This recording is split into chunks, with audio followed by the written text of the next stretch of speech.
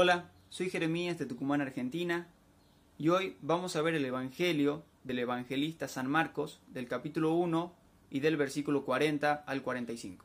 En este pequeño fragmento vemos cómo Jesús se topa con un leproso, y este leproso, de una forma humilde, le dice, si tú quieres, puedes curarme.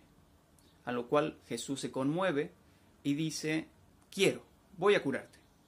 Entonces extiende su mano y lo purifica. Una vez purificado, Jesús le da una severa advertencia y le dice, no vayas divulgando este milagro con nadie, solo ve con tu sacerdote y haz lo que dice la ley de Moisés, ¿verdad?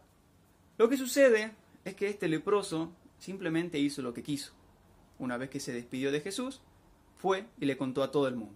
Posteriormente Jesús ya no podía estar en zonas públicas y tuvo que como que aislarse e irse a zonas desérticas. Pero igualmente concurría mucha gente a donde estaba él. Y reflexionando sobre esto, saqué tres cosas importantes. La primera es la humildad del leproso, ¿verdad? Porque imagínese esa situación en la que tenés una enfermedad bastante fea, ¿cierto? Y un poco desesperado tal vez. Entonces en la que llegarías desesperado y dirías, cúrame, por favor, cúrame, cúrame. ¿Entendés? Más bien como una orden, como cúrame ya. O también podría haber sido, cúrame, tengo familia con mucho dinero, puedo pagarte. Sin embargo, este leproso solo se acercó y dijo, si tú quieres, no, no es una obligación, si no lo haces está bien, solo es si tú quieres, si tú quieres puedes curarme.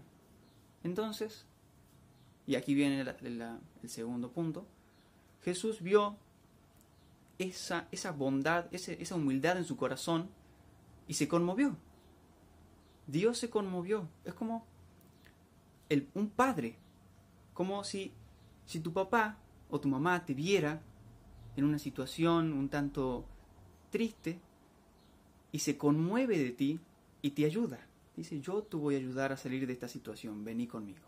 Y la tercera y última es nuestra forma de ser, ¿no? Nuestra forma de ser humana.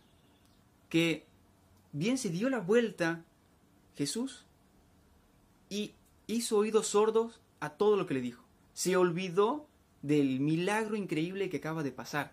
Se olvidó de que un momento fue humilde para pedir que lo cure, que lo purifique. Y simplemente hizo lo